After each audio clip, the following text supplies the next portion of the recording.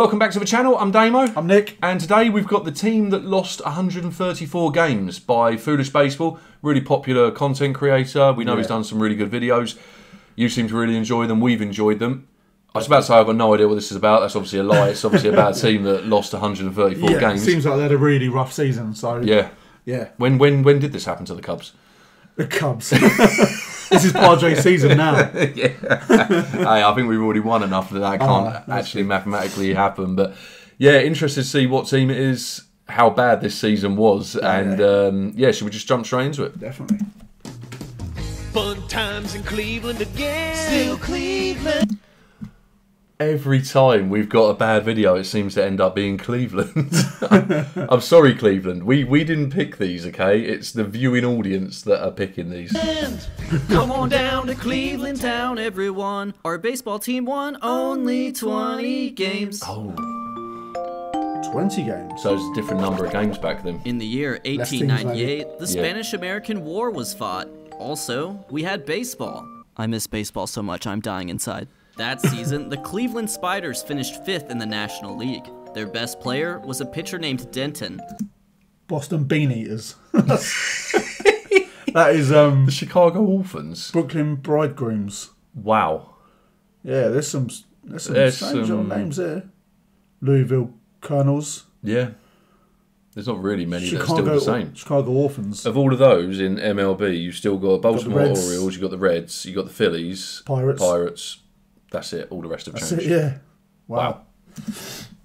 Although he was known by many as Cy, short for Cyclone.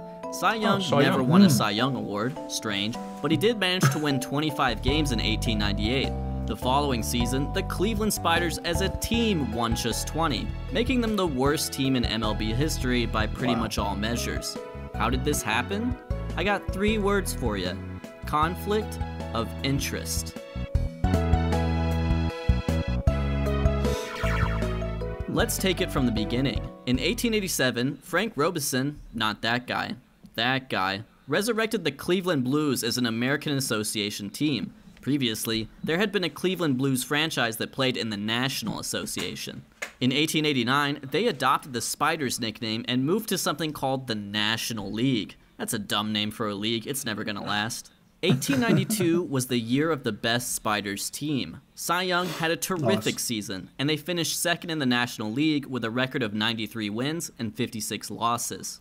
Fast forward five years, and the Spiders were still a solid team, sporting a record above 500, but they struggled in another department attendance. Hmm. Right before the 1898 season, Robison, who owned the Spiders with his brother Stanley, paid his Sorry for the early pauses on this. I can't believe this is in the 19th century. I love the fact it's in the 19th Yeah. century. This is definitely the oldest video we've ever covered. So um, yeah, definitely. yeah, this is going back.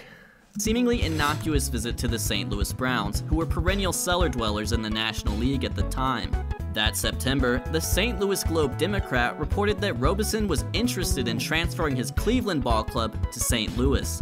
The Spiders didn't play bad baseball, but attendance shrunk further as the Spiders played only 55 home games. Visiting teams didn't want to make the trip for such a slim portion of ticket revenue. Robison visited St. Louis again that February while also reiterating that the Spiders would indeed play baseball in 1899.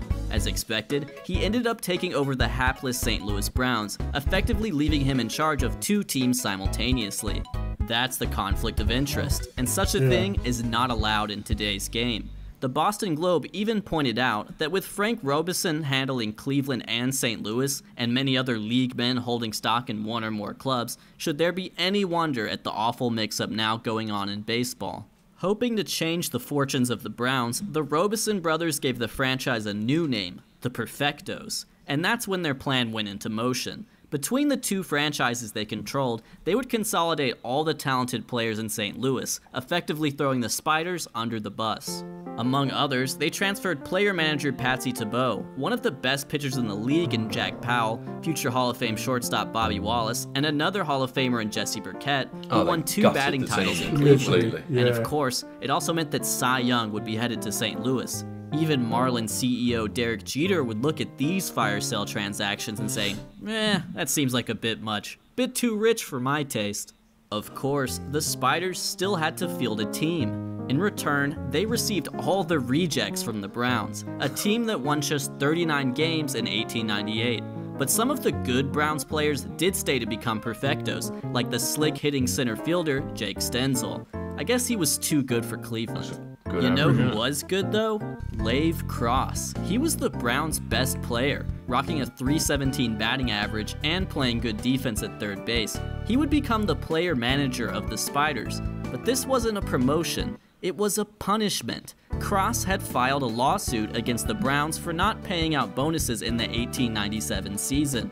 So, he was shipped off to the island of misfit ball players, aka the Spiders, in what I believe was an act of retaliation. Thankfully, he wouldn't have to stay there long, as any talented ball player was going to eventually play their way out of Cleveland, whether they liked it or not. Got some team. Under Lave Cross, who probably took up drinking again that spring, the Spiders got off to a roaring 8 and 30 start. That's a t- That's exactly what Oakland A's did this season at one point. Yeah. They were at eight and thirty. Wow. I think they. I don't think they're obviously only going to win twenty games, but um, 210 winning percentage, which is beyond terrible, but wasn't actually the that's awful. lousiest the National League had seen. The 1890 Pittsburgh Alleghenies, for example, finished their season with a winning Wow. percentage of .169. Not nice. As a player, Cross didn't exactly set the world on fire. To be fair, he was juggling managerial duties with playing responsibilities, but he did manage to play his way out of Cleveland and make his way back to the St. Louis Perfectos. The Spiders had effectively become a feeder team for the other Robison owned ball club. Anyone with a sliver of potential wouldn't stay in town long. Then there was Chief Zimmer, the spider who stayed.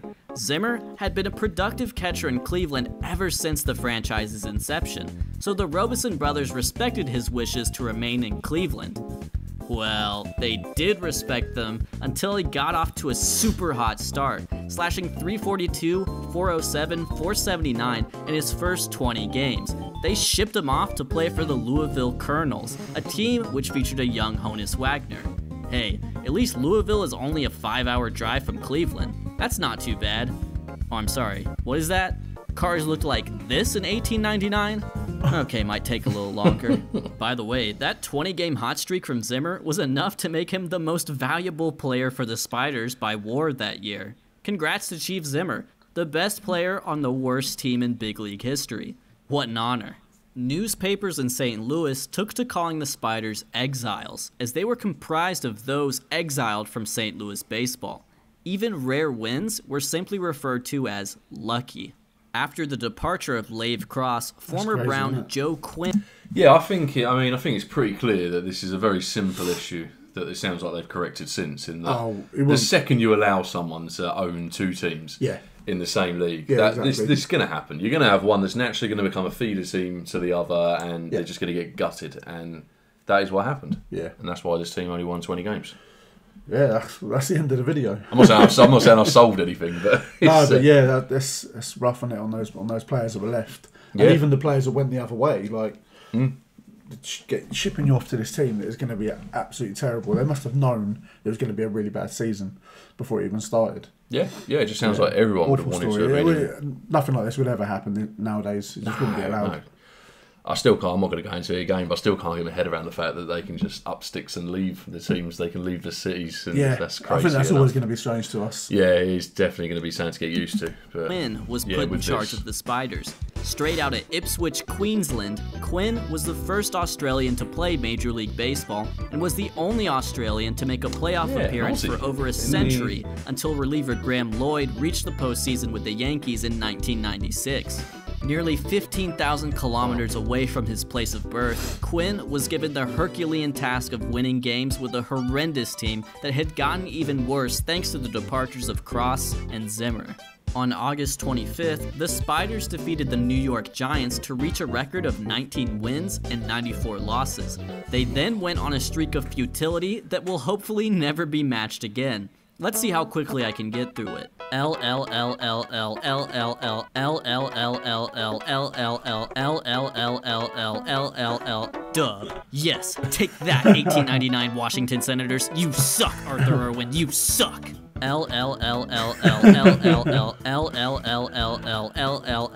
That last L of the season Wow. was pitched by a fella named Eddie Kolb. He was a 19-year-old cigar store clerk and amateur baseballer from Cincinnati who somehow persuaded Quinn to start him on the final game of the season against the Reds. Maybe he bribed him with some nice cigars. At that point, the Spiders had literally started every Tom, Dick, and Harry they could get their hands on, so starting Eddie Kolb didn't seem like the end of the world. Kolb allowed 19 runs that day, although only 9 of them were earned. He his also was credited for a complete game thanks Works to his 8 innings shop. of work. It was the only appearance of his big league career, meaning he retired with a 10.54 ERA. But he did manage to go Wow. 1 for 4 at the plate with a single, so he does have one more hit in the majors than either you or I. Okay, that's a lie. I played for the Braves in 2001. This also wasn't even the worst pitching performance. Did he actually? Yeah, is that true? Yeah, he probably is. Oh, that's pretty cool if he did. Yeah. There he is. Is that foolish baseball? I, I've never seen that. I've never No, seen no, it. no, me either.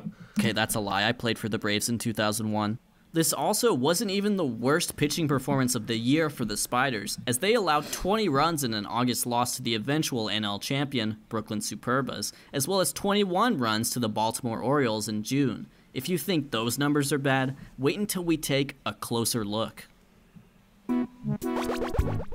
20 wins, 134 losses. You knew that already, but what's unfortunate is that those wins and losses have to be assigned to pitchers. Eddie Kolb started just one game, but seven Spiders started at least 10. Of those seven poor, unfortunate souls, four never played in the big leagues again. Jim Hughey might seem like the standout with a 4 and 30 record, but perhaps even more noteworthy is Frank Bates, who was saddled with 18 losses to just one win. Now, obviously, this wasn't a strikeout centric time in baseball. In fact, National Leaguers walked more than they struck out in 1899. But Bates' struggles can best be summarized by the fact that he walked 110 batters while striking out just 13. That's bad. More than a century later, Wow. Craig Kimbrel basically flipped those numbers.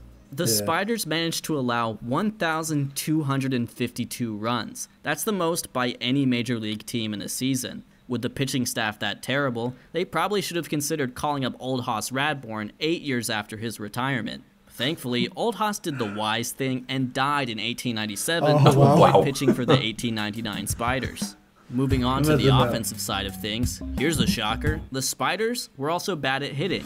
Their most used hitters were all below average by OPS plus, which isn't too shocking, but what is shocking is that there was only one member of the Spiders who mathised that year. His name was Harry Lochhead. Or maybe it's pronounced Harry Lockheed. I don't care. He's dead too. Everyone in this story is dead, except Craig Kimbrel. While Lochhead certainly had his struggles at the plate him. He's in the and in himself, the right? field, we're talking about negative 1.5 wins above replacement here. He did pitch three and two thirds innings without allowing an earned run. Maybe he should have pitched more. As far as putting together a defense, I don't envy Joe Quinn. His team was basically held together by chewing gum and staples. He had a glue stick early on, but it was sent to play for the Perfectos. One player he leaned on heavily was Sport McAllister. That's a great Yes, name. A man named That is a Sport name. who played every position badly. Negative 20 fielding runs on the year. Tough luck, sport. A particularly Wow. revealing stat would be fielding independent pitching, an ERA estimating metric based on the three true outcomes strikeouts, walks, and home runs. Of course, 1899 didn't feature many of these, but FIP still functioned as a good ERA estimator across a very large sample. The 1899 National League had both a FIP and ERA of 3.85, but the Spiders had a significant discrepancy between these two stats, leading me to believe that their defense was also historically dreadful. Altogether, hmm. they certainly put together a convincing case for the worst team ever fielded. Well, yeah, I mean, with those stats, that's just ridiculous. Yeah. This is obviously the worst. Sorry, I was talking to them, not you. Right. Um, yeah, this is obviously the worst in terms of number of games won and number of games lost in a in a season. But what is what's I'm wondering what is the most underperformed season out there? Which team was it and which year? So I'm thinking like if you had a team that was maybe going in there expecting to I don't know be around the playoffs, and Yeah, yeah. They ended up coming last. So yeah, what what would that be? What would that look like? So I'd like to maybe Yeah, definitely. dig around that and see if we can find a good video. I also can't help but be impressed. Let me talk about what I mean. One day of glory. It's Just going to be the win. Yeah, you get it at this point. The Spiders were horrendous, but there are reasons to celebrate them. Frank Robison completely abandoned this squad. Anyone with talent was sent to St. Louis or shipped off elsewhere, and they played their last 37 games on the road because teams wouldn't make the trip for such a small share of ticket revenue. All things considered, it's quite the accomplishment they even won 20 games in the National League. Of course, they finished last, but so did the Browns in 1898 with a similar roster.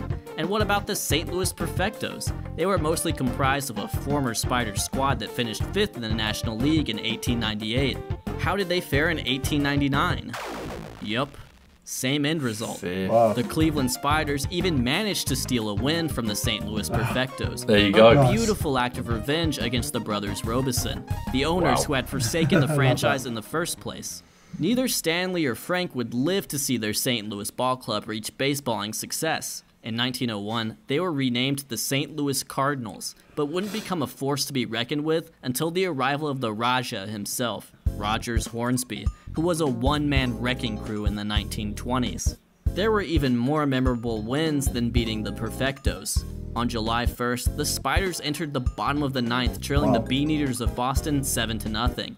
Boston was a powerhouse squad that won 95 games that season, but Cleveland somehow rallied to tie the Wow. game up, and Spiders' third baseman Suter Wow. Sullivan walked it off dramatically in the Wow. 11th inning. for the win. Newspaper accounts described a hectic yet wonderful Crazy. scene. Now, I wanna see a video The Cleveland before players there's were like a lot about. of wild men when Joe Quinn came in with the winning run, and the crowd was as wild as the players. Sullivan, whose single scored the last two runs, was surrounded, cheered, and hugged. After this, it made no difference what Boston did in the second game. Cleveland had glory enough for one day. In some ways, losing so much only makes winning that much sweeter. The difference in the what team brings me the most comfort the is that St. Louis one 1899 the was the final one as year of the Cleveland Spiders' existence. They exited the National League never to return, and Cleveland baseball fans never again would have to deal with a team that disappointed them. Whew! what a relief. Yeah, that was an interesting story. Um, Great little really, story, really to bad on the on the team to be stripped like that, but Yeah, nice, last- end, nice ending for him. Last 36. Well, it was just over. But then, Well, it was just over. yeah, the season was done. Yeah, 37 games on the road to finish just because nobody would come along. Um, yeah, Yeah, no, that's yeah, that's rough. Yeah, that that is is rough. that is rough. We I feel like we've had some really rough stories for Cleveland. What's what's some positives? What's a positive over Yeah. the years? What's the what's the best sports moment from Cleveland? I imagine we get some really sarcastic comments, but yeah, well, what is the what is the best moment? Let us know down in the comments. probably Um, Cavs maybe. NBA, yeah, it could, be. Cavs, yeah, could definitely be that. Yeah. But yeah, we, we hope. Um, yeah, we hope you enjoyed the video. We certainly did. That was a great little story. Yeah. And um, yeah, please do like, subscribe, and share if you haven't done already. Really does help us grow the channel. We'll see you on the next one.